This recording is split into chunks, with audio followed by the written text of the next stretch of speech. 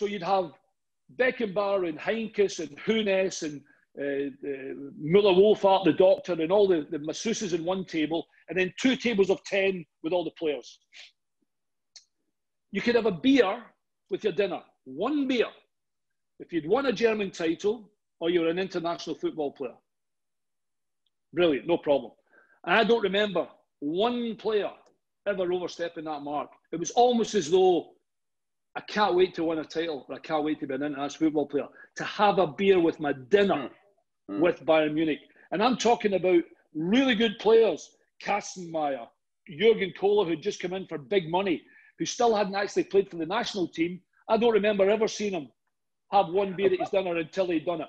And I don't remember anybody throwing the, you know, the, the, the toys at the pram there. There's players that weren't happy because they weren't playing, because there was no reserve team. There was no second team. There was 24 players and 11 people played on a Saturday.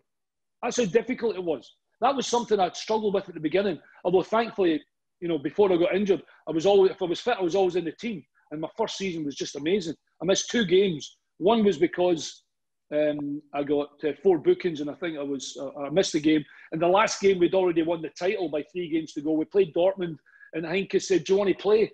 And I said, I, I don't, I'm, I'm, uh, yeah, I'll play. He says, oh, it's entirely up to you. You don't need to if you don't want to. And I went, I said, we'll play one of the young boys or something. And we, we won 3 0. And I sat, it was a beautiful day.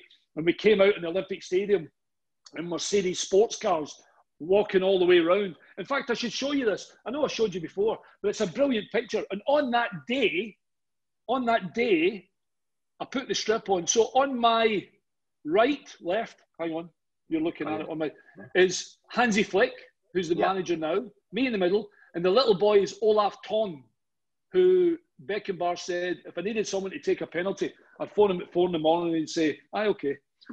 They were just brilliant and brilliant days, and you know, it's, it's, it's when I look back on it now, I think, well, how can a little boy for Ayr end up at Bayern Munich?